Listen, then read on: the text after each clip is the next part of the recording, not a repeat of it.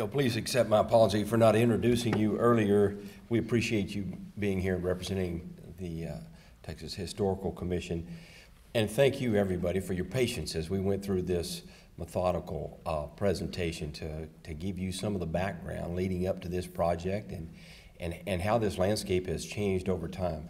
We believe we've done a considerable amount of due diligence to ensure that there's no adverse effect on, on the resources and the, in the project area. And with that, uh, as promised, I want to make sure that we have an opportunity to hear from you. You know, my hope was that we were going to share some information that might address some questions or concerns that might might exist. Uh, I, I, suspect that there's uh, questions or concerns that you would like to share, and so uh, I'd like to work this if we can, and I think we can do it in a in a very organized manner. Justin's going to help me. He has a, a mic microphone and it's really important that we all be able to hear the question so that uh, we can understand what's being asked or said and, uh, and then address that. It might be a little bit awkward, but I intend to call upon uh, our staff, our, uh, what I consider expert witnesses on, on certain, depending on what the question and the, and the comments are about. And so uh, with their help, we'll, uh, we'll address them as best we can. So I'll just call on anybody. But yes, sir. Justin. My name is Bruce Lockett. I just wanted to ask a question. I know they've done an archaeological survey on the site. Uh, we've done historical research for the last three years. I have actually in Senate, Thomas Worrell was at the Battle of San Jacinto.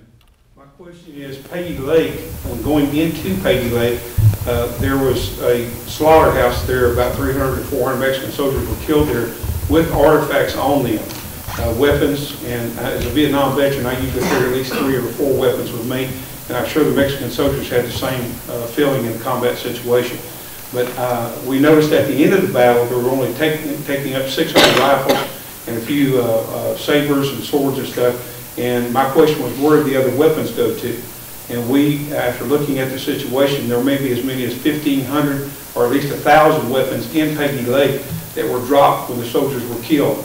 And I'm just asking if the Marine Archaeology Department has done any survey on that particular lake or marshy area, which has been in that area. If they've done any marine archaeology, it might be something they want, may wish to look at and uh, take some technical equipment out there, sonar. We had approached them two years ago about trying to do some stuff with them, but they said you had to have marine archaeologists with, you know, a master's degree and anthropologists with a master's degree. And I understand that. I'm just saying, I think that's an area that may have been neglected, not intentionally, but just to make them aware that there are probably historical sites there. Maybe down in the mud, maybe just a couple of feet under the ground. And it's one particular area needs to really be surveyed. Okay, okay. Anybody on our team would like to, to take that on? I'm not, certainly in a better position to address that than me. Michael, thanks. Uh, certainly us and historians are aware of Peggy Lake having been an area where a lot of the Mexican soldiers died. Uh, but Peggy Lake has been, been used as a disposal area by the Corps of Engineers since the 1950s. Uh, so uh, that area today is approximately, Andy, 20 feet above, uh, because it's been filled not only up to tidal level, it's been filled above that. And it's approximately 20 feet above grade today. And with subsidence, that, that 1836 surface is probably in the neighborhood of 20 to 30 feet below sediments that are out there today. There was unlikely any archaeology done starting in the 1950s when they began filling that in. And that, uh, that disposal area is, is, quite a large area with a, a, lot of soil on top of it. We're aware of that, uh, but going back 60 years ago, uh, I seriously doubt any work was ever done there. I just asked SHPO that. They're, they're not aware of anything. Thank you. Another question? Yes, sir. Yeah, Glenn Van Slyke with the Harris County Attorney's Office. Excuse me, sir, if you would investigate that, that way we can all hear that. Okay. Yeah, Glenn Van Slyke with the Harris County Attorney's Office. I'm just here for some information. Um, your uh, press release says that this is uh, this project is going to benefit from uh, the use of material being removed for a private industry project near Morgan's Point. Can you tell us the name of that private industry project and what private industries would, uh, are involved in that project? Um, Andy, you want to address that because you probably have a better understanding of, the- of uh, uh, who all is involved with that project. I, I'm not as familiar with the construction project that's taking place downstream. Would- Is it, would you, would you like to at least identify? I- I'm not sure. I want to make sure that we get the name correctly on the, on who we have contracted partner. Uh, It's for a project in the Barbours Cut Terminal. It's for a new um, dock project there. Whose dock project is it? What It's the? Enterprise Pipeline. Enterprise Pipeline? Yes. okay. And who's the dredging company that's operating this project? Uh, Weeks Marine. Weeks Marine? Yes. Okay. Uh, Your press release says that uh, the park will be able to value, uh, will take advantage of services worth more than $1.5 million uh, by using this uh, hydraulically pumped fill. Where does that value come from? Who put that value on the services? Was that Weeks Marine or was that? No, that was myself. Uh, And the way I calculated that, and it's a rough estimate, it's probably low, is that we actually do marsh restoration like this on our own. Uh, We're doing a project right now at Galveston Island State Park because that area subsided and we've lost about 900 acres of marshland at Galveston Island State Park. So we're actually hiring a dredge to dredge sand up from the bottom of West Bay and rebuild marshes. And based on the cost of that, that's what I would estimate. If we hired a dredge to go out and dredge material, I think it would cost at least that. You know, that's not just the operation of the dredge, but also uh, the engineering involved, the surveys involved, and the permitting involved and all that. What's the total estimated volume of the dredged material in cubic yards? I believe it's 325,000 cubic yards. Okay. Um, Who determined that there's no toxic material in the dredged material? That was done by a private uh, firm that, uh, a lab, I mean, uh, the real, Can you tell us the name of the laboratory? no, I don't have that on the top of my head. Can you tell us who they were consulting for? uh, Enterprise Pipeline, and um, the company that hired them would have been, uh, would have been their con- their environmental consultants. Now, I've got the data. Who who are their environmental consultants? It's Atkins Global. Okay. I've got the uh, data. I think we're free to share that, I believe. So I think I've already sent it to Jan DeVault. Um, And the other agencies involved in the permitting all have that data as well. Okay. Thank you, Andy. Another, Justin? Oh, Has has anyone consulted with the um, Republic of Mexico or the United States of Mexico about this project? no, sir, we have not. Do you have any estimate how many of their citizens are buried on this battleground? Uh, Well, are you talking about within the perimeter of the, of the state historic site or outside of the state historic site? No, in- inside the state historic site. I'm not sure we know that.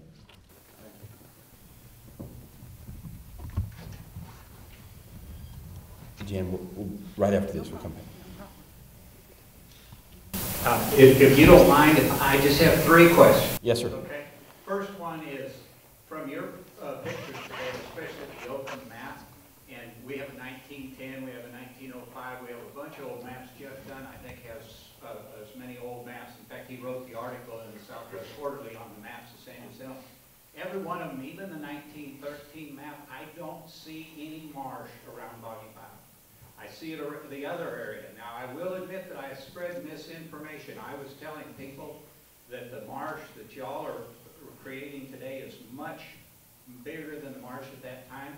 And looking back at the map since I made that statement, I was wrong on that. But I still don't see any information of any marsh being in the area of Boggy Bayou. And I have depositions from Mexican soldiers that we translated, and they talk about going down the bank into the bayou. They ran along solid ground, and I think it's pretty clear. The Yoakum map shows it very well. We've got a 1910 map that shows it very well, that there was no marsh on Boggy, Boggy. So I don't know why you're building the marsh up into the bayou, unless it's to bury the artifacts and the potential Mexican dead. I understand that that's very politically sensitive, that there might be Mexican uh, remains in there. But I don't see why we, if we're trying to make the the marsh or the battleground be like it was in 1936. I'm not sure why you would put marsh where there was no marsh. Well, you've identified what we think is, is a very big challenge in this project or any future work that we do to try and uh, recreate a landscape as best we can that has changed radically over the years. So the degree of subsidence that has occurred, it really makes it almost impossible to reestablish the contours and the lay of the land as it was in that time. Uh, the, the, one of the objectives, certainly of this project, is as best as possible get it back to a condition where people can see and visualize how the how the battle played out. And with Andy's uh, design of this project and with the uh, engineering work and studies that have taken place leading up to this, I think that uh, that has helped to uh, uh, establish that landscape as close as possible given the, the realities that we're facing today. And I don't know if that adequately addresses your, your question, but I would just say, it seemed like it would be easier not to put marsh where there wasn't marsh. It would be less spill that you would have to put in there, and that would probably save most of the artifacts that are in that area. My second question, uh, in the Atkins report, which was done by their archaeologists work for the company that's going to do the engineering, they did do 13 borings, and three of them were in the Boggy Bayou area, but one of them was on the existing road. So only two of those borings were actually in the area where we think the artifacts exist that we believe are going to be buried by the dredge. And those two borings were three inches wide each, and they both reported that there was no artifacts found. They were only done to 10 feet depth, those two uh, borings in that area.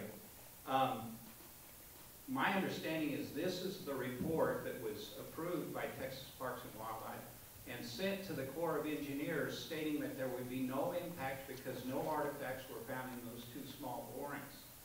And yet, Texas Parks and Wildlife has, has come out and said that they do not want to do archaeology in the area because of the potential that there are Mexican dead there and that all the artifacts that would be found with them would not benefit, would not be beneficial as far as interpreting the battle, uh, because it would be the same stuff we would find outside of Boggy Valley. But those seem to conflict to me that, that Atkins said there's no artifacts in there, and that's what they told the Corps of Engineers to get their, uh, uh, uh basically, uh, behind the scenes, uh, section 106, not doing public in, in 106, but just doing it in the office. It seems to me like saying there's no artifacts to the Corps of Engineers and then saying we don't want to excavate the site because there's Mexican dead in there and we don't want to disturb the Mexican dead. And yes, we know there are artifacts with them, but we don't think it's worth disturbing the dead to get the artifacts. Those seem to conflict to me. You know, I'll probably call on one of our teams to help uh, with describe the objectives of, of the, uh, the boring project, but, but when, those, when those samples were taken, it's my understanding it was not in an attempt to, to find or not find artifacts. It was simply trying to identify and locate at what depth that original landform in 1836 is in the current landscape, and then also analyze the, the sedimentation that has taken place and uh, be able to anticipate it, the compaction that was likely to occur, how much material we needed to bring on top of all of that to, to achieve our objectives and reestablish the marsh. So all of that work was essentially done to ensure that whatever steps we did take did no harm to the existing uh, uh, landscape or, or the historic landscape from 1836. And, and I can buy into that, and it sounds very good, but unless I'm wrong, and somebody can tell me if I'm wrong, that report, the conclusion was no artifacts found, therefore no impact. How can there be no impact if we already say that we're going to do it? And that it's my understanding that's what was sent to the Corps of Engineers, and that's what they used as their basis for for uh, approving the, uh, the uh, uh, project without doing a, a full 106 with public input. Uh, that, that's, that, that's not correct.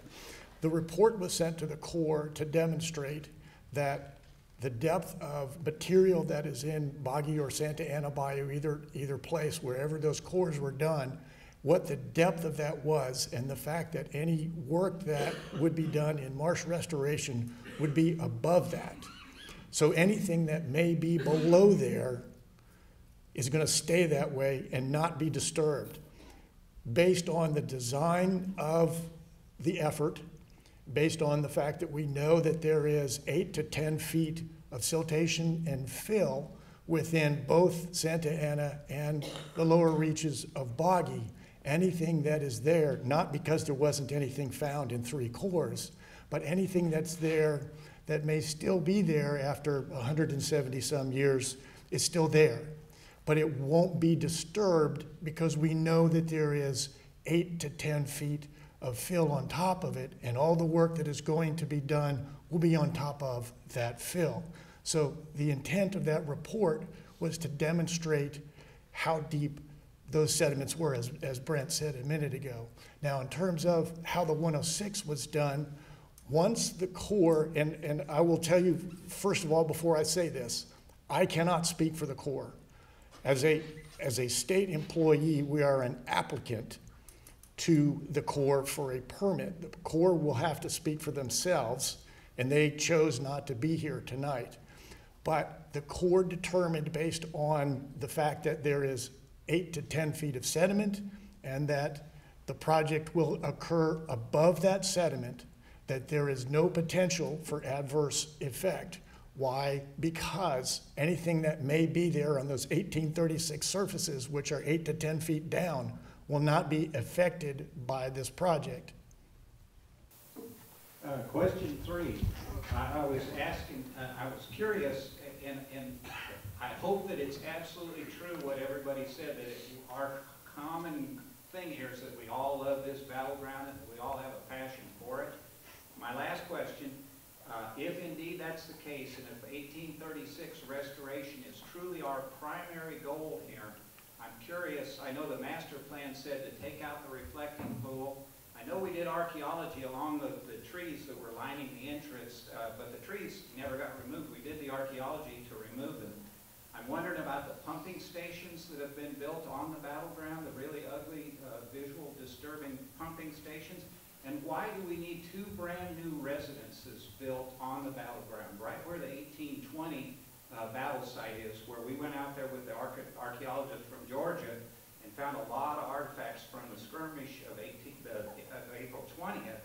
That's where we're going to put the two new homes on the park. Now, those things don't seem to be consistent to me that the restoration of the 1836 battleground is our primary goal. And I'll shut up now. Tho- Those are very good questions. You know, I mentioned earlier that uh, it's our goal to do no harm as we manage resources across the state to make our very special places, state parks, state natural areas, and historic sites accessible to the public. We must provide some degree of infrastructure or to accommodate that type of access. Oftentimes, that includes utility systems, roadways, uh, structures, maintenance facilities. Uh, These, these support facilities are essential to be able to do that. We believe strongly that on-site residency is an important safety consideration at this site. As you know, that uh, this site in particular is vulnerable to abuse. And the, the response time, the, uh, the having, uh, in, in our case, the ability to provide state park police officers. These are officers with full authority to enforce laws of, uh, of this state and protect those resources. That is uh, very important to be able to, to be accessible. Uh, as difficult, and we find it difficult at times to construct that built environment and provide access to the site so that people can best experience it, learn from it, and hopefully grow in their appreciation for it, that it might actually influence the, uh, their life and the way they, they value resources, both natural and cultural. So those are difficult uh, balance that we have to strike. Uh, and, uh, you know, we're, we're going to look for every opportunity to minimize impacts. So I can say that we never have impacts on state parks because that's, or, state historic sites or natural areas. It's simply not the case. We, but we try to do it in a way that's respectful, that accomplishes our goals and objectives. And, uh, and, and so by building this complex over there, getting our maintenance facility away from the Texian camp and getting our residences away from that area, we believe that we're actually benefiting the site with that, with that kind of a development project and, and not additionally harming it. I think Andy has something he wanted to address, perhaps in a previous question. Yeah, I'm sorry. No, Uh, no, no. I, I just wanted to, to clarify, the reason an archaeologist looked at the core samples were just in case uh, these, where these samples went down, there's a very small chance, you know, because they're a very small core, that they could have hit and captured uh, uh, an artifact. And so we had to have an archaeologist look through those core samples to make sure there were no artifacts in them. They weren't done to characterize the, uh, the artifacts that may be present on the bottom of the, of the, of the, the bayou there. Thank you, Andy. Yes. My name is Jeff Dunn, and uh, I was uh, appointed to the San Jacinto Historical Advisory Board by Governor Bush back in 1996. I was reappointed by Governor Perry and served till 2007, and was chairman from 2000 to 2007. And uh, I I think uh, a very important part of, uh, that that is a very important feature that's been omitted so far is uh, about the section 106 procedure that was talked about. Uh, The way that procedure is supposed to work is if there are any potential impacts on historic resources, and that's only, that's the only trigger, a potential impact on historic resources, you go through a consultation process, not only with the state historic preservation officer, but also with ordinary citizens that have an interest and concern I would say everybody in this room probably would have been interested in being a consensus party. Everybody would have had something to add to this process. And that somehow got skipped over. It never was done. Uh, Texas Parks and Wildlife could have initiated that. That, that could have been initiated even without a section 106. But going through that consulting process is a way to check your work, to, to you know, everything you've done here may have been perfectly fine, there may have been a great consensus to it, but the whole idea is to, is to draw upon public concerns and public issues, uh, so that any issues can be addressed and dealt with. And if there is a, uh, an adverse impact or potential for an adverse impact, that's where you get into, uh, compromise and you try to work this out. That step somehow got skipped. I, I find it just almost incredible that you, we can say that just because there's silt there, and this is gonna go on top of the silt, that therefore you can lead to the conclusion that there's no adverse effects on anything dealing with the site, and have that, and have that be clear. You know, I, I'm not an archaeologist, but I'm aware that over time, artifacts tend to float up to the top. And who knows what happens to some of those artifacts, some of those artifacts may actually be in that ten-foot silt area, as far as we know.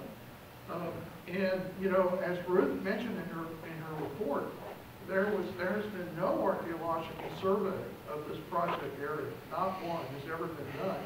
And I think that's what a lot of, what is driving a lot of the concern here is the fact that that's just being uh, assumed that we're not going to do it, and, and therefore it's okay to put even more stuff on top of it. Uh, not to mention the fact that the impact of the Mexican soldiers, y'all may be exactly right. It may be exactly the best way to deal with this is to leave whatever remains are there and put this on top of it. It may not disturb them and it may be the best way, but part of the consulting uh, party process is to flesh all that out. Uh, it was mentioned about contacting the Mexican government. These are Mexican soldiers. And, you know, maybe they might have uh, an input into how they want to do this.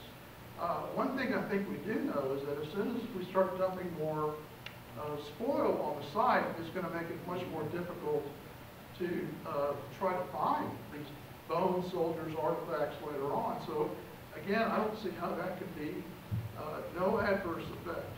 And by skipping over the public consultation process, uh, we avoid all that. In fact, this meeting wouldn't be, this meeting is somewhat like damage control, I guess, because, you know, all this should have happened a year ago.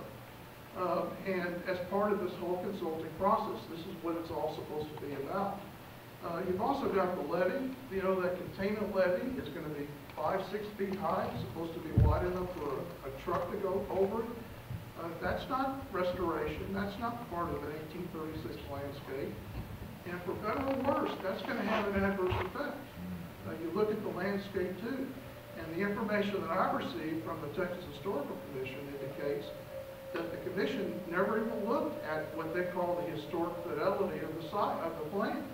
They weren't looking at, at whether or not the overall, uh, landscape would be changed. Instead, what's happening here is we're introducing a new feature that isn't, that isn't there today, that we know was not there in eighteen thirty-six. That creates an adverse effect under section one oh six. And why didn't anybody notice that? Um, It was also mentioned about the toxicity of the soil, and it's mentioned uh, about, well, you're going to look at contaminants. But, you know, the real issue that I think is going on right now is you got dioxins in San Jacinto River. And is that, is that being tested for too? Uh, Because it appears, you know, just me as a layman, uh, if uh, dioxins are floating around the San Jacinto River, the, the, the marsh area is outside of the flow of the river and may actually not be contaminated.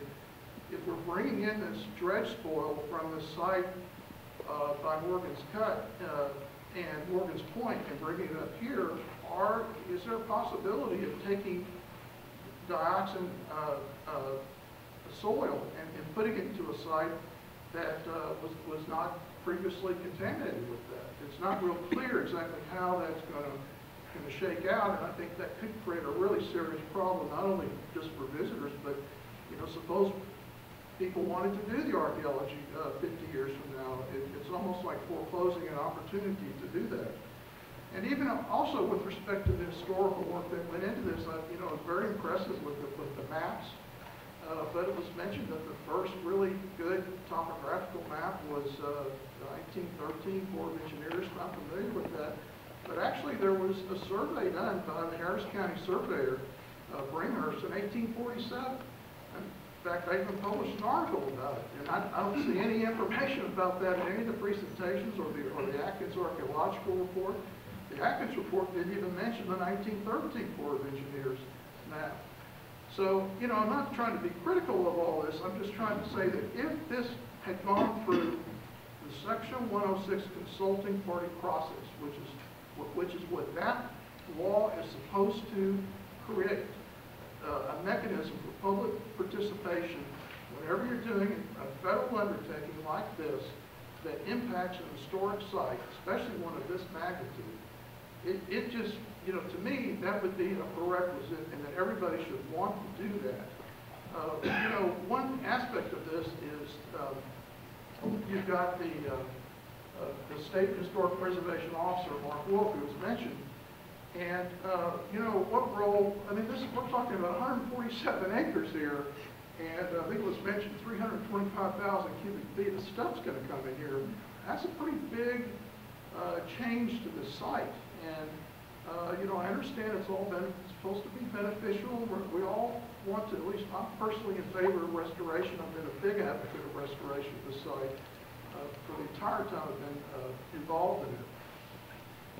But, that, that's a big project, and uh, from what I've been able to see uh, through the Texas Historical Commission was they were focusing on very narrow things, and uh, I'm not so sure how much that was the, these other issues really were focused upon. And I just don't, I just don't understand why the 106. And that's really what a lot of people are asking for now, is that before you go out there and change the landscape, uh, have an opportunity for people to participate in this, have a moratorium on the project long enough so that, so that uh, we can go through this consultation process and satisfy some of the concerns that have been raised. Mr. Dunn, I appreciate that. Uh, uh, all those comments. There are many questions or opportunities to address many things that you said. I'll, I'll take a stab at a couple of those things. Bill, could you do me a favor and pull up that slide that uh, shows the profile that Andy uh, established with the, with the uh, light brown or kind of orange layer of material that will be deposited over this area, over this project area. Uh, While you do that, I'm going to call upon a couple of other people to help me, uh, certainly Bill Martin from the, uh, from the Historical Commission, to address some of the process-related questions that, that you brought up and concerns.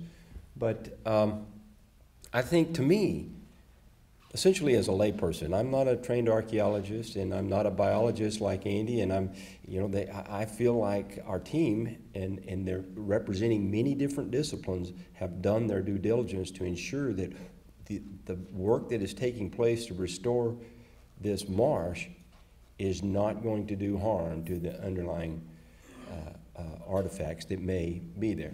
And so uh, this helps, in my mind anyway, to put this project in perspective. It's kind of like placing the icing on the cake. There is a lot of deposited material that is that, that came after the historic events of 1836. So having said that, I believe, I agree with you, that it is, it, it's incumbent on us as the, the department that is submitting and pursuing a permit for a project like this to do our due diligence. Now, I'm satisfied, I believe that we have done that.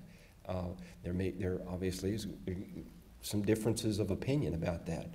But the process is built, as I understand it, to, to help protect uh, the resources, certainly, and that you have uh, other sets of eyes that get to be, uh, to, to take a look at uh, the project design and the research that's gone into it in advance uh, to ensure that uh, we have taken all steps required and necessary to ensure that we're not uh, having an adverse effect on that. And so, uh, Bill, would you like to speak to the, to the process, perhaps, uh, the questions that were, that Mr. Dunn raised?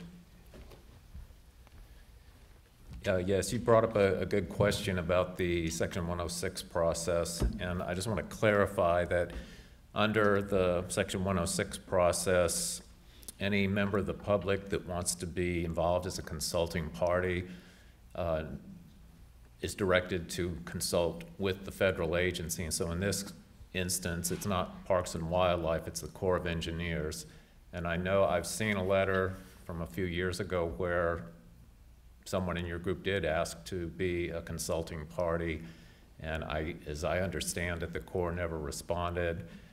I, I don't know why. Unfortunately, they're not here tonight, and that's a good question for them. But I will point out that even though you can request consulting party status, there's nothing in the regulations that forces them to grant you that status. And, and usually federal agencies do, but I've had a couple of instances in the past year where other districts of the Corps of Engineers have uh, refused to admit uh, members of the public that had requested that status in. I've talked to the Advisory Council on Historic Preservation in Washington, which oversees and wrote the regulations for the Section 106 process, and they will be happy to get on the phone with people and encourage agencies to allow people to be consulting parties, but they don't have any rule, any role under the regulations that allows them to force the Corps to do that. So even though on most, I'd say most large-scale projects like this, we do have groups that are interested and there are public meetings held or some type of back and forth, it is up to the federal agency to make that determination. Thank you, Bill. There's one thing that, that, uh, that- that I also want to add, and that's about tonight's meeting. You know, um, frankly, this was not scheduled. I asked our team to pull this meeting together based on feedback that I was receiving, concerns. Con- Because it's my hope that, that the work of the Texas Parks and Wildlife Department in any stewardship endeavor that we take is supported and well understood. And it was my sense that it was, that there was perhaps some misunderstanding or misinformation, that perhaps we didn't all have the same uh, benefit that I had, I thought, that from some of the, some of the, the, the pre-work that had been done by our department and some of our con- uh, contracted partners. And so I asked our team to pull this meeting together. Now, I- I realize that the project is underway. We can go out there and we can see it. It's underway right now. It's never been my belief that, uh, that the meeting, the, the purpose of the meeting tonight was to, uh, to change the course of the project, but to address your concerns. Because it's really important to me that you have confidence in your Texas Parks and Wildlife Department as stewards of the resources. And to the extent that we can, we want to be completely transparent and let you know exactly what the rationale behind the project was and what we're thinking about. And why I believe I have so much confidence in our team in this project and what's, and why I think that we're not going to have an adverse effect on these resources. I think it was really important for us to have this conversation. Now, whether or not everyone leaves the room uh, convinced, then I, I hope that's the case, but I, you know, I'm not, I'm not sure that uh, that's realistic. But the, but the point is, your, your views do matter. The- you- We have people in this room that have tremendous amount of knowledge of Texas history, in particular this site, and um, a long history of stewardship. And we appreciate that very much. So I, I appreciate all your, all your comments. I just wanted to make sure that it was understood, why are we having this meeting and who called it and what is its purpose? And I don't want to be disingenuous. I want to be very upfront and clear. The project's moving forward and it has already begun, but it was, it was permitted appropriately and uh, supported, concurred with by the, by the THC. And so we felt. Now, having said all that, and I was going to save this for some closing remarks, and I'm not trying to prematurely end this.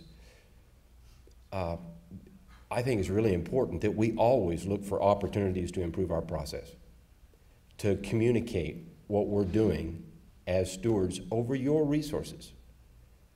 San Jacinto Battleground and State Historic Site belong to, belong to you. They be- belong to the people of Texas. We just happen to be interested in the stewardship. And we want to be completely clear about the rationale that led to this project being initiated and why we feel uh, strongly that it's, that it's a good project. Um, so I just want to say that. Uh, there's opportunity for us to improve the way we communicate these projects.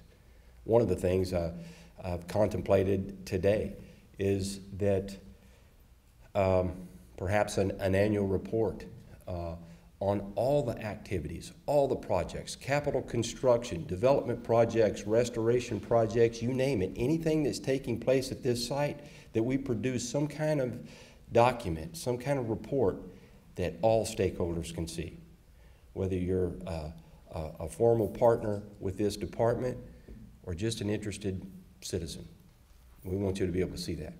And so you have my commitment. We're going to do something very similar to that. But we also realize sometimes projects will emerge in between that annual report that we hope to develop. And it's important that we share that information, that uh, we not wait and react to an outcry of concern to hold a meeting. I'd rather do it on the front end so it's very clear to everybody what we intend to do because our intention is absolutely to be the best steward of this site that we can. It's, it's incumbent that we do that. Future generations of Texans expect that, and, um, or, well, current generations of Texans expect that. It's a standard that uh, we, we uh, eagerly accept. So uh, thank you for that. Oh, Jan, I think. No, and actually, um, I think this is on, but, uh, Mr. Martin, I'm probably the one with, uh, well, actually, I think I directed our attorney to write that one oh six letter. We have consulted with the Corps several times on different projects. Now, the fact that they chose to ignore us does not, should not have prevented you all from doing something. And I'll say it, I said it in emails, I'm gonna say it publicly. Shame, shame on the state agencies who are, who, and you're, you're on the right track. We've got to have communication. There has to be communication. There's projects going on out here that we don't know about, and we do care. And groups like ours, and some, I know some of these folks in Bellevue know they have a tremendous amount of knowledge. They're willing to share it for free. But um, I, I'm right now very disappointed in the Texas Historical Commission in Texas Parks and Wildlife because we went two years thinking this project was dead. And everyone knows who we are. I'm going to give this to our attorney, actually. Leslie, and uh, please explain the 106 process. Well, I'm, I'm going to make a couple of comments and I have a question, so it'll lead to a question. Um, First, I think Jeff and Jan and other folks have spoken very well about the 106 process, but I, I do want to point out, because I think there is a very important absence in this meeting, is that the statutory responsibilities for 106 are on the Army Corps of Engineer to comply with this 50-year-old Texas law, and actually on the Texas Historical Commission. Uh, Although as applicant, you know, this Texas Parks and Wildlife should be consulting with the Corps as well to notify the Corps of people who need to be involved. the Texas Historical Commission has a legal responsibility to consult with the Corps to advise them on people who should be brought in as consulting parties. Um, So going forward, both agencies need to make a better effort to bring people in. And it, and actually for the state, it's a requirement. Um, It's deeply disturbing that the Army Corps of Engineers is not here. We did ask for consulting party status. I've been involved in Corps projects going on 15 years. It is not unusual not to hear back from the Corps for two years because it takes so long within their review process, especially on complex projects, for anything to get done. When we finally heard about this recently, and I contacted the Corps, I was astonished to be informed by the project archaeologist that he looked at things himself and did the little internal review and everything was fine, and that he determined that the qualities that made the battlefield eligible for the National Register were not being impaired. Well, for the Army archaeologist not to know that this is a National Historic Landmark and also listed on the National Register is unconscionable, which invokes an even higher level of 106 review, which has not been done.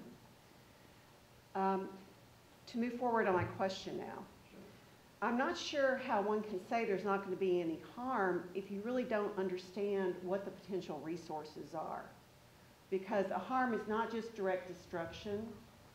It's, for example, preventing future or impairing future interpretation, an opportunity for education, even if the resources are going to be left in place. And simply because in another area, land disposal was allowed before there were any regulatory requirements, in my mind, almost makes this an adverse cumulative effect by putting more land disposal on the site, which will further prevent any kind of evaluation. So my question now is with all the work that was described that's been done on the site, knowledge of native soil properties, knowledge of locations and densities of artifacts and sites, what sort of predictive work was done to do any kind of evaluation of the potential for locations and densities of sites, given all the native soil work that Mr., uh, your staff person described, uh, of knowledge of the native soils under the site? Because I would think at minimum, and I have clients that do this work, so I know it's done, you would have wanted to do some kind of predictive evaluation of what was there that was going to be affected uh, irreversibly by this project. And if it wasn't done, why wasn't it done? Because that's when you start to understand what the resources are and what the potential for harm is. Perhaps um, somebody from our team can also address this, but I think it's an effort of avoidance of impact. I mean, we are, we were, all of the, the work that was done was to determine where we can safely operate and work to reestablish uh, a landscape that's consistent with 1836 and have no effect. I mean, uh, and I think that's what all that pre-work did. It, it, was to avoid the potential for that effect, and so we stay away from that. So is there perhaps somebody that is better positioned to address this than me? But If we're not just talking about physical effect, the inability to understand and interpret in the future is itself an effect. Okay, I, I- okay, and I, I did, I do remember you saying that, and I appreciate that, that you remind me of that, because this is an important aspect and objective for this project. Because we believe that it's actually adding value to our, and, and adding to our ability to interpret the events uh, in, in April of eighteen thirty-six. So, go ahead. Perhaps from a landscape effect, but what about From an interpretive, resources? from an interpretive standpoint, let me say this, bringing, bringing an element of the landscape back, it can't be the exact landform, because that landform is gone. It's 10 to 13 feet gone. It will never come back in our lifetimes. So what we are doing is we are recreating the scene as best as we understand it, based on the biological research that Andy Sipocz and his predecessor, Ted Hollingsworth, did uh, over the years and, and looking at maps or versus looking at aerial photographs. Maps can be just uh, imagery as opposed to actuality, which is what we were basing the marsh restoration. I'll let Andy answer that in a minute, but we're basing it on 1930 and the fact that there was in 1930 and as early as 1913 there was open water in there. So we do know that there was marsh in the lower reaches of Boggy. What was done predictively, we know from documents, which a number of people here in the audience know just as well as any, and, and more than anybody else, that there is most likely the remains of Mexican soldiers in there. We don't need to do predictive modeling based on, on the historic documentation. We have a pretty good idea that that's what's in there. However, putting two feet of soil on top of eight to 10 feet of soil has no adverse effect on those remains. They are still there, they will be undisturbed. From a landscape perspective, restoring that scene, allowing us to continued interpretation in a greater, more detailed way. I will tell you that the very first time I came here, and I have been doing battlefield archaeology for 30 years now, I came here, I had a very difficult time understanding how things flowed across this landscape. I got a very detailed tour from Ted Hollingsworth, Andy's pre- uh, predecessor, and unless Ted had gone over every step of the way and explained how the landscape had changed, even somebody who understands battlefields, I'd worked at Manassas back in 30 years ago, you've got to have the scene to really understand it. And I have seen a lot of battlefields that look very different today. I lived uh, on, on Murfreesboro, on the, the Battle of Stones River. And that one is an incredibly difficult battle to understand because there's shopping centers in the middle of it. We don't have a shopping center here, but we don't have a marsh either. The marsh was the, the, the, the biggest, and unfortunately Peggy Lake's not there either. Those two landscape elements were some of the, had some of the greatest impact on what occurred there the days of, uh, uh, uh, the day of 18, uh, April 21st, 1836. So from an interpretive standpoint, being able to put that marsh back and interpret to the public, from little children to adults to people who are on the Cannonball Tour, I'm one of them, on the Cannonball Tour regularly, to understand how the Texas landscape affected the outcome of the Texas Revolution there is no adverse effect. And you would get an argument from a lot of people, including myself and other people who do battlefield archaeology, that restoration of the scene is not an adverse effect. From a standpoint of human remains and anything that associated with those human remains, there is no adverse effect because we are not touching them. They are staying there where they are, eight to 10 feet below. Somebody said earlier about artifacts rising to the surface. I highly doubt it, frankly. We have seen that in these other soils because those soils are above water, they are, they are dry land, and those soils do churn. But under the water, they're not going to have the same churning effect. Now, with all of that said, I'm going to let Mr. Martin answer the, the Section 106 parts of your questions. And I want to be clear when I talked about losing the opportunity for interpretation and understanding, I wasn't talking about the landscape component. I'm talking about the buried cultural items, artifacts, remains. I mean, just fifty percent of the party, right? After Bill finishes, I can try to answer that as well. We don't think it's an adverse effect. I mean, I can see a lawyer arguing that that would be a cumulative effect, but this much fill on top of eight feet. Uh, honestly, I've talked to several professional archaeologists and asked, you know, what would, what do you think of this? And nobody uh, who works on a regular basis in CRM work thinks that this would be an adverse effect or that it would warrant excavation. The concept about artifacts moving up, if that were the case, we would not probably, depending on what it was, in this case, because it's such an important battle, we might, but usually if artifacts are moving like that, we don't want, they've lost their context and we can't study them effectively. So, you know, that in and of itself wouldn't trigger any further excavation. Um, and in terms of uh, what our agency is required to do, I, I have a copy of the regs with me. Maybe you can show me where we're required to to tell them who to consult with, you know, what members of the public. I, I think our only statutory requirements are to um, assist in Section 106 review and to uh, do National Register nominations if you look at the law. So um, that's about all I've got.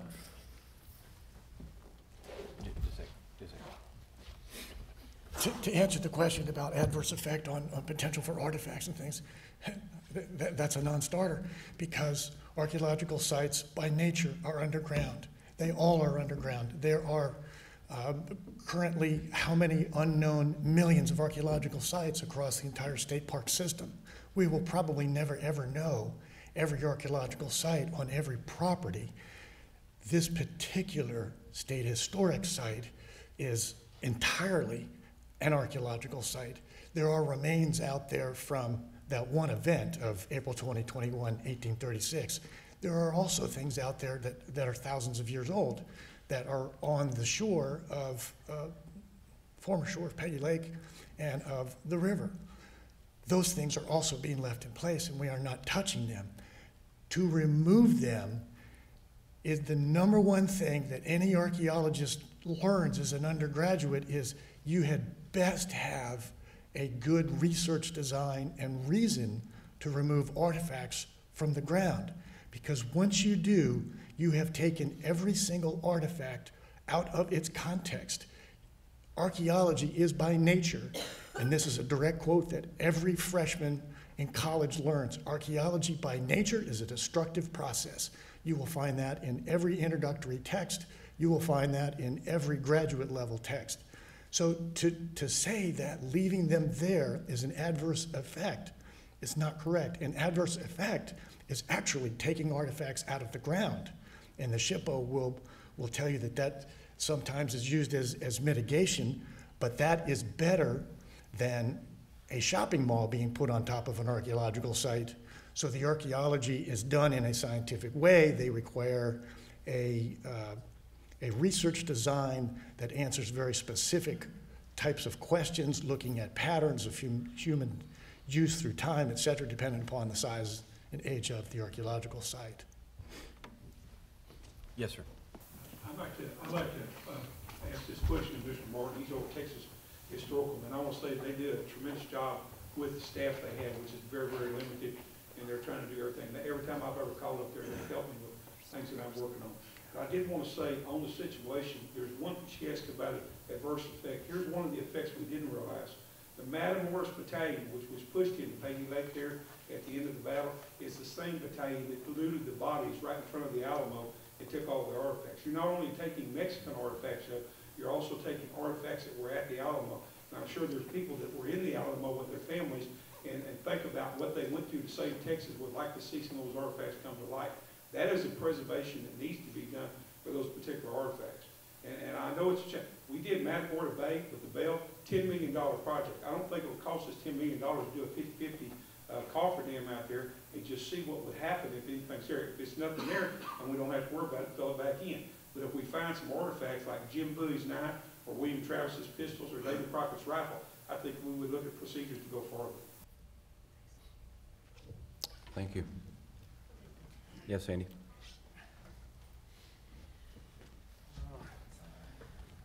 I did, I did want to, to make sure um, folks with the San Jacinto Battleground know that uh, the letter you sent us was provided to the Corps, so they did have your objections a couple years ago. So, and also this project was previously permitted through the full public review process.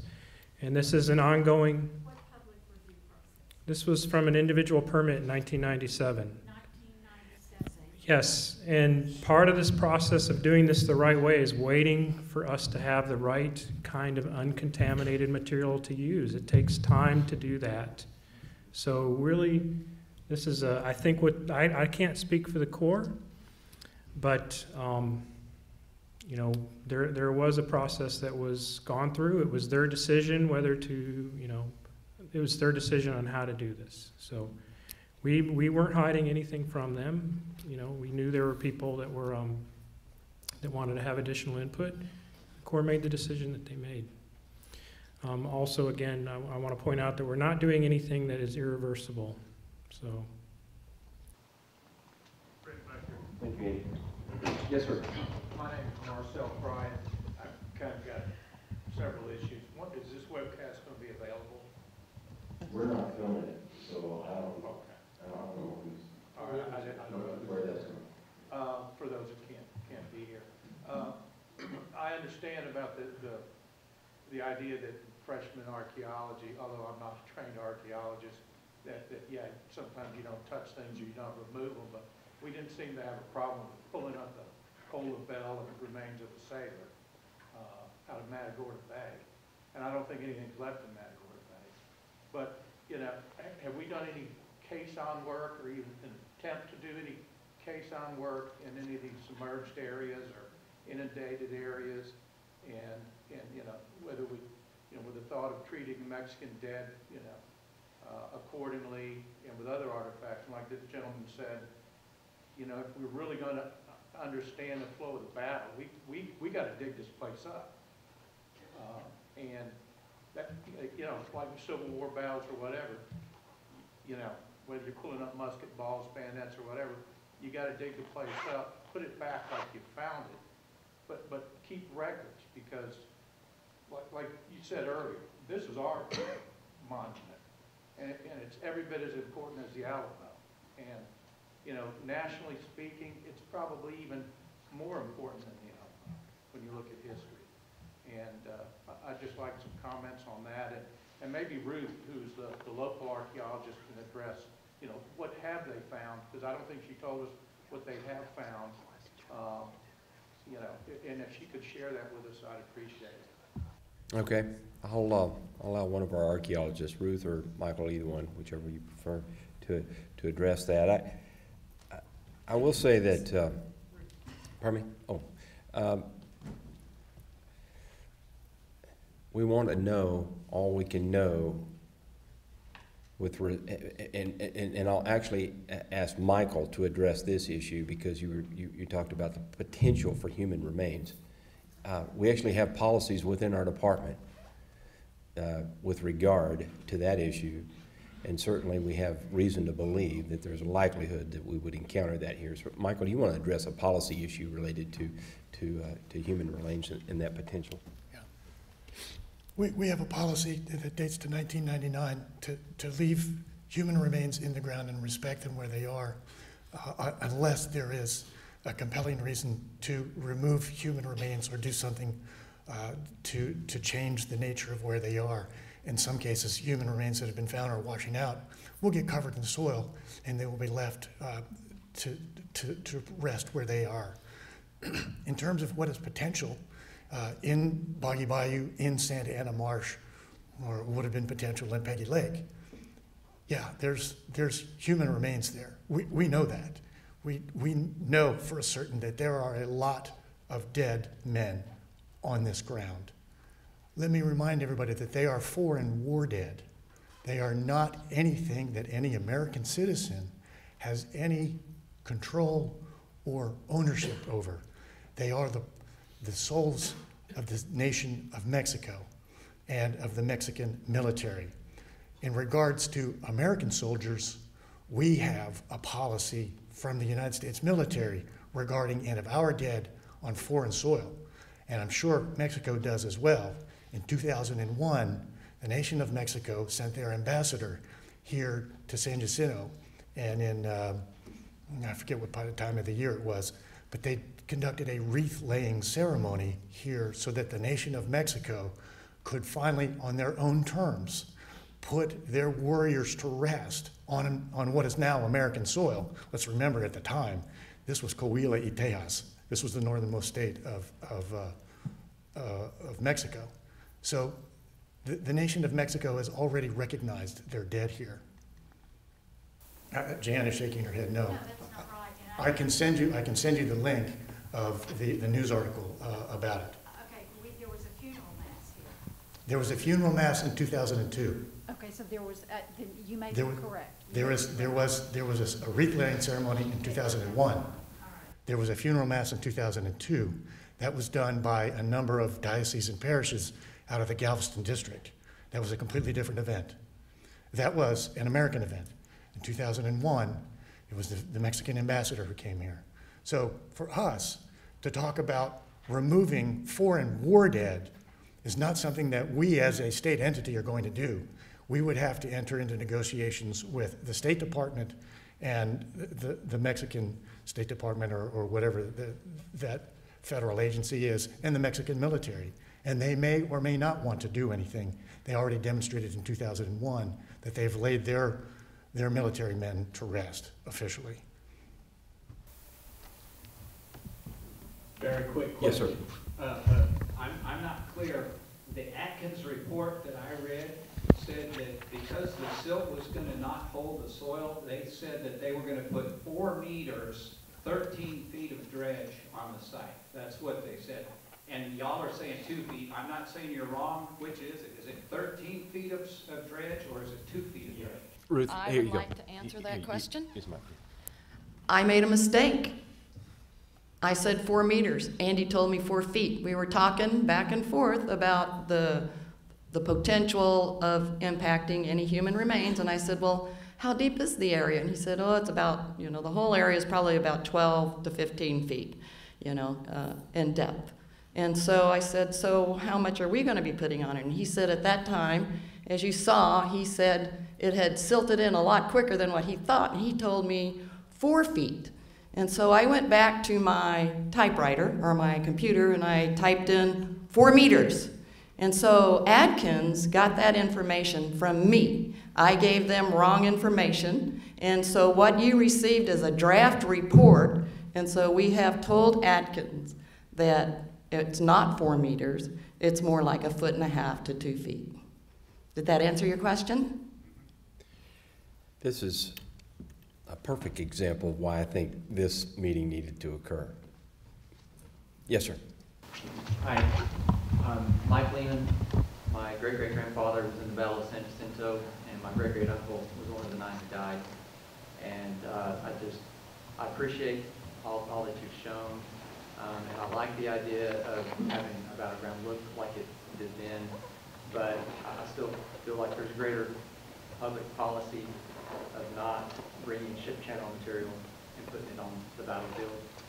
And I do feel like if there ever is a desire to uh, do some archaeological work and find out what's under the ground, that you're just making it more difficult and more expensive. Thank you, sir.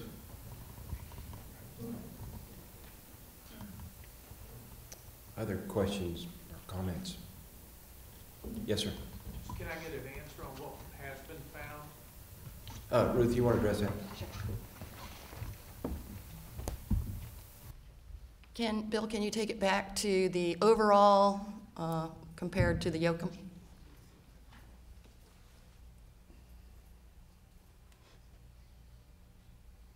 Okay. So, uh, I'm not going to tell you which areas. We all know it's a battleground, and so there's battle-related artifacts out there. There's also historic artifacts because we know that before the battle occurred, it was Peggy McCormick's land, and you know she was a farmer and she had stuff, right? So we find stuff from that era, and we find battle-related stuff, things like musket parts, pistol parts, cannonballs, uh, grape shot, musket balls, uh, belt buckles, spurs. Uh, we find all kinds of things. So, and they're both Mexican and they're both American, Texan. So, and then, so uh, after the battle, right, immediately after the battle, uh, things started to be accumulated by onlookers, visitors, those people who like to go pick up stuff. Y'all know what I'm talking about. And um, so the, after that, so these people are out there picnicking and gathering and bringing the children. And so we found little dolly parts and we found uh, rancher spurs and we found things from beyond the era of the battleground on up. It's a continuous use uh, site. I mean, from the time uh, Peggy McCormick was there all the way through till today. So uh, a lot of times I come out here with my little metal detector because the hogs have been out there digging the site up. Do, I, do we have any control over the hogs? No. So I go out and I metal detect, and when I metal detected 90% of these hog wallows, I have found pop tops, I've found bottle caps, aluminum cans, uh, gum wrappers, uh, nails, pieces of chain off of some of the lawnmowers that we used to, you know, so you name it, we have found it. And so, is all of this stuff in context? No, it's not. There's a lot of the stuff that we find that is out of context. In other words, it's been picked up as fill, moved to another part of the park to fill in a low-lying area or to create a road. And sometimes over time, those roads have been degraded and then scattered around. So there's a lot of artifacts out there, and yet we have found, and that's what those soil tests will tell us, is whether or not what we're looking at is intact or not. And intact means where they dropped it when they were running, or where they dropped it, or where whatever they had, like they dropped a spur or their horse threw a shoe. You know, some of those things are exactly where they were, but a lot of them are not. Any other questions regarding that? Do we, do we have that data that can be, sh- that information that's in context that can be shared with the public? Um, you mean, in, we have reports, I think those are. or, or on display, or, or do we have the artifacts, We have the artifacts at our lab in Austin. okay, at your lab and all? Yeah. And, um, Michael, you want to address this because I'm not sure. Can they Well, I just want to know, when is it, when is it going to be made? You said it's available to us, but, but, I mean, do I go to, on Amazon and get it, or where, where do I go? Help me out. Um, The, the reports, the reports are available uh, that uh, typically, excuse me, typically, we, we don't give out site locations to the general public. That information is protected. We protect that information, and the, the, the Historical Commission generally uh, assumes that that is protected because we don't want members of the general public coming out onto our state historic sites or our parks and looking for artifacts. What we can tell you is that in the middle of the battleground, we have found evidence of the battle itself. But I will tell you from a professional standpoint, I don't think we know exactly where the middle of that battle is yet. We haven't found that. We've done a lot of work in and around the area, but I can tell you one of the things that happened is this building. This building and all the construction around it did a fair amount of damage. And I, and I think that we, we have, based on, on the work that we have done, we've only hit the very edge of it. There's still a lot more that could be done out there in the middle of the battlefield to try and find the middle of where that battle occurred. There are a lot of dropped artifacts. We have found very few actual fired musket balls. Man, I'm losing it. Um, so that work is, is, is still potential to be done. In terms of uh, how much more we could learn by doing that kind of work, I think we could learn a lot. I think one of the other things that could and should be done is to hire a Mexican historian to go to Mexico into those archives. I could use my academic contacts and to do a lot of that background research that could be done of the questions that are being asked of us and are being asked of the things here. Uh, what did the cazadores carry with them? What were certain insignia? What did they look like? Whether they were lapel pins or they were embroideries. That kind of information could be found through archival work. So we still have a lot that we could do. Believe me, ladies and gentlemen, there is a lot that could be done. Brent will tell you that I've had a number of conversations with him. My goal for this site would be to hire an archaeological staff for a number of years to be able to fully inspect and, and do this place right. We've been picking at it piecemeal with, with contract archaeology, and that is, that is not working real well, frankly. If we could do it that way, but it takes funding and it takes FTEs, none of which have we ever had in order to, to, to be able to do that correctly. And can I ask you one more question? Uh, final disposition of the Mexican cannon was on the battlefield, is there any determination where that went to? And secondly, when are we gonna get our Alamo flag back?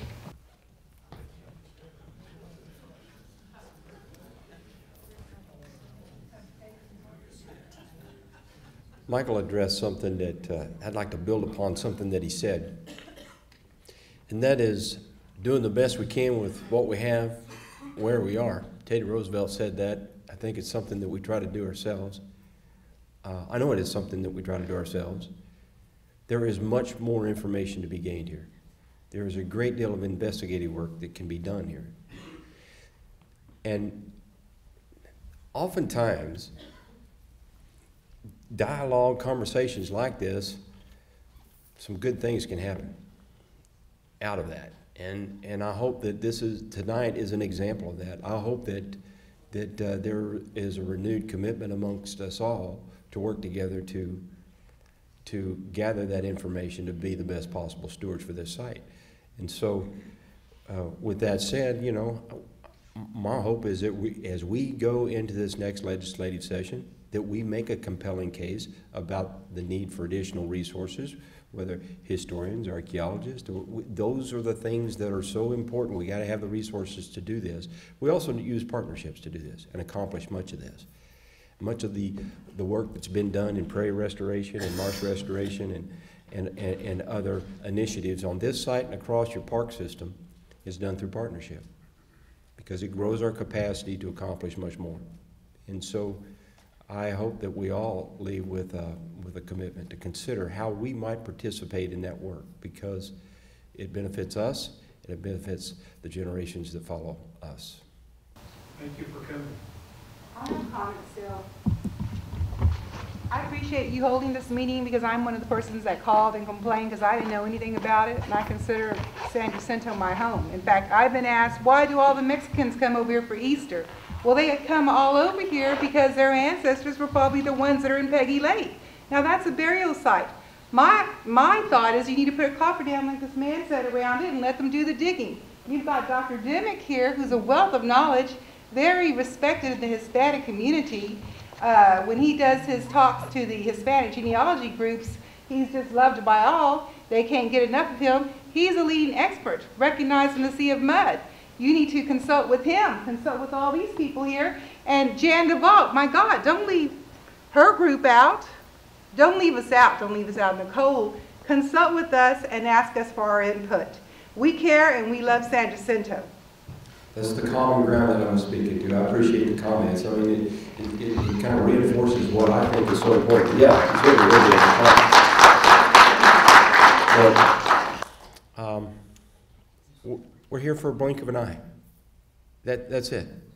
We're going to pass this on to the next generation, and they're going to do something with it. They're going to hopefully protect it, preserve it, continue a legacy with it uh, to the next generation. It's, it's important that we, we gain as much information as we can, and we do it uh, in a responsible way, and using the best management practices uh, that we and, and the best practices that we have available to us, doing the best we can with what we have.